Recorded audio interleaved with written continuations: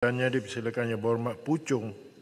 Terima kasih Datuk Speaker uh, kerana izinkan Puchong untuk turut serta dalam pembahasan kajian separuh penggal RMK 12. Tuan Speaker, uh, Perdana Menteri telah mengumumkan bahawa kerajaan akan memantapkan sektor dan, dan industri dengan pertumbuhan dan nilai tinggi high growth, high value yang meliputi lima lima bidang.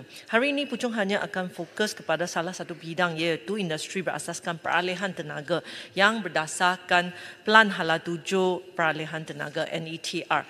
Sebenarnya Puchong telah pun bertahun-tahun menegaskan di Dewan Yang Mulia ini kenapa industri uh, hijau ini adalah sangat, sangat penting. Ia sangat penting kerana ia bukan sahaja baik untuk alam sekitar tetapi juga berpotensi besar dalam merancak pertumbuhan ekonomi, menarik pelaburan dan juga mewujudkan peluang pekerjaan.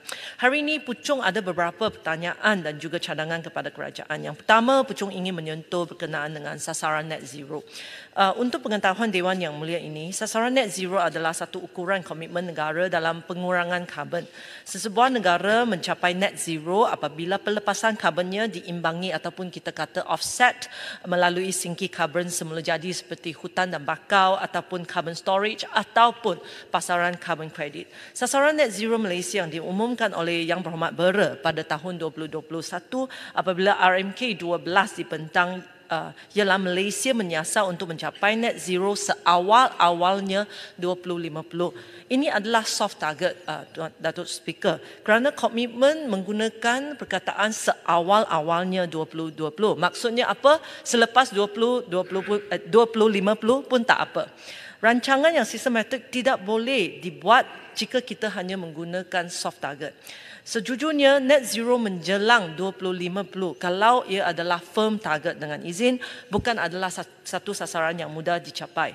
Sebenarnya kebanyakan negara yang meletakkan menetapkan sasaran net zero by 2050 adalah negara maju seperti Amerika Syarikat, United Kingdom, European Union, uh, negara uh, New Zealand, Australia, Korea, Jepun dan Kanada.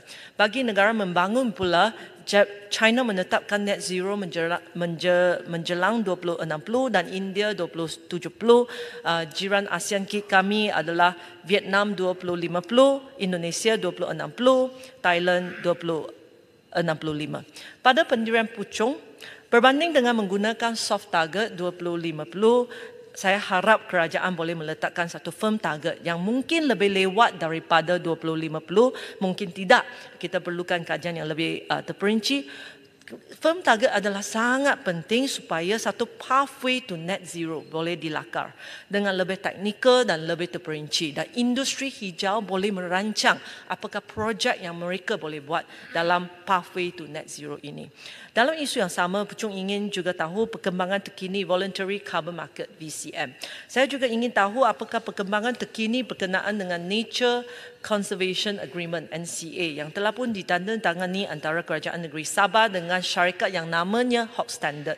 Ini adalah kerana Sabah memiliki hutan ataupun singki karbon yang sangat signifikan.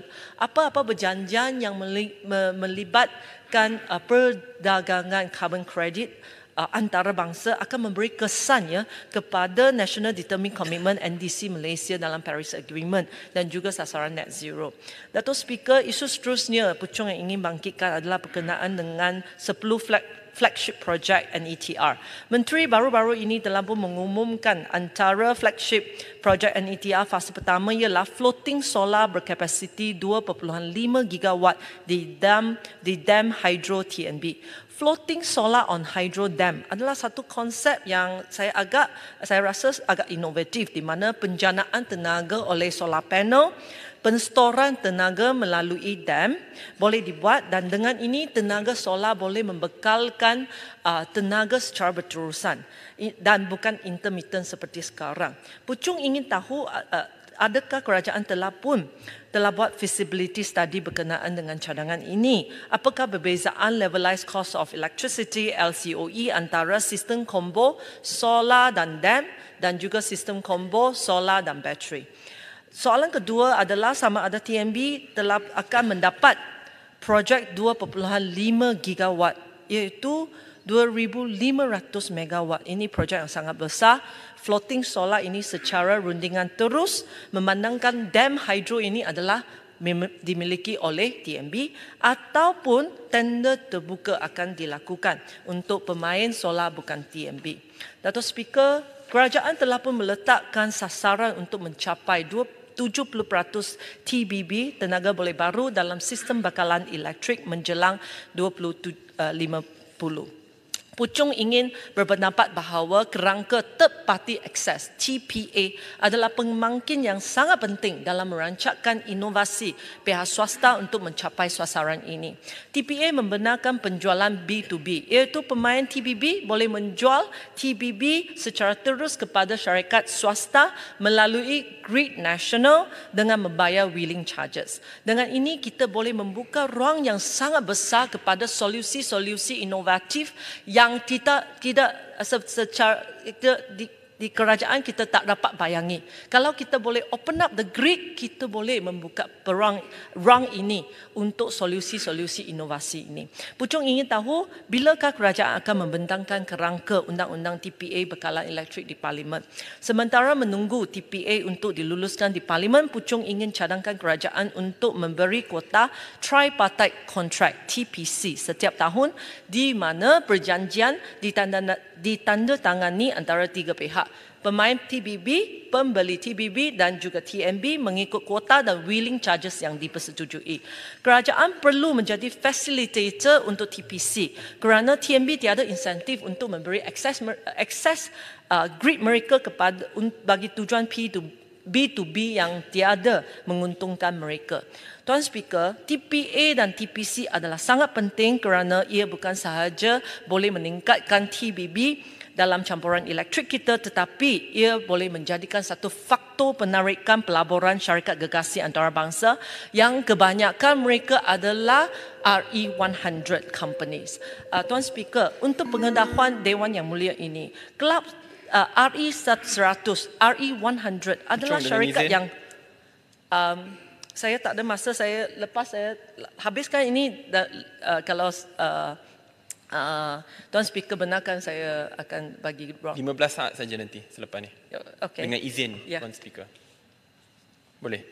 Saya setuju dengan cadangan yang Berhormat Puchong. Cuma persoalan saya kerajaan sebelum ini telah pun mengumumkan uh, pembenaran ekspor tenaga boleh baru kepada negara luar sebagai contoh Singapura. Tadi yang Berhormat Puchong bangkitkan soal third party access yang sangat penting untuk memastikan bahawa perjanjian ini dapat dilakukan kalau kita lihat kerajaan Singapura telah pun mengeluarkan RFP untuk tujuan ini. Yang dah nak lapse ataupun tamat pada suku empat tahun ini walhal walaupun kerajaan telah pun mengumumkan ekspor dibenarkan tetapi TPA masih sama-sama lagi dan RFP dah nak tamat atau dengan izin lapse bagaimana kita ingin memastikan bahawa perkara ini dapat diselesaikan secepat mungkin? Saya faham. Yang Muhammad Pucung ada jalan tengah sebentar tadi tetapi perjanjian ataupun lapse itu akan berlaku So saya berharap bahawa ini dapat dimasukkan sekali sebelum it lapses fourth quarter tahun ini kita dapat percepatkan. Terima kasih. Salah satu langkah adalah menggunakan TPC. Oleh itu uh, GTG ada kalau kita government to government G2G telah benarkan untuk ekspor ke RE kerana TPA memerlukan masa kalau kita memang kita tahu rang undang-undang kita perlu dua hingga tiga tahun untuk bentangkan di parlimen. Tetapi memandangkan pemain-pemain solar ataupun pemain-pemain TBB kita mahu ekspor ke Singapura maka stop gap measure adalah third party uh, TPC uh, tripartite contract di mana saya uh, nak mendapatkan pandangan daripada kerajaan sama ada TPC ataupun any stopgap measure akan uh, di, uh, akan kita ada stopgap measure apabila kita menunggu TPA untuk dibentangkan di parlimen ini. Uh, kita saya saya nak satu minit uh, 30 saat lagi, uh, Dr. Speaker. Saya nak tegaskan di sini, TPA ataupun TPC adalah sangat penting untuk menarik syarikat gegasi antarabangsa yang RE100.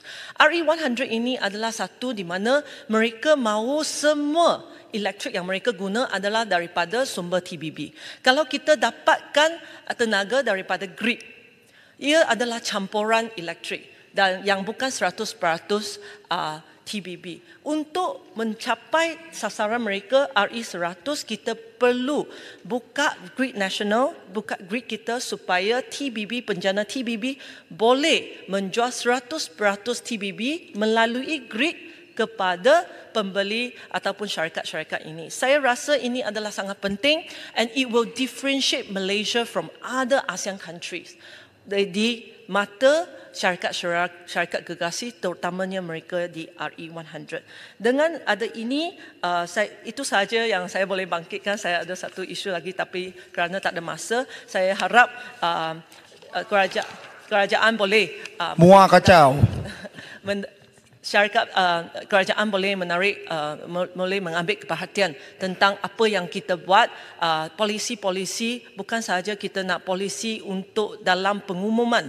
Kita perlu ada detail ataupun perincian uh, yang susulan. Sekian sahaja terima kasih. Yang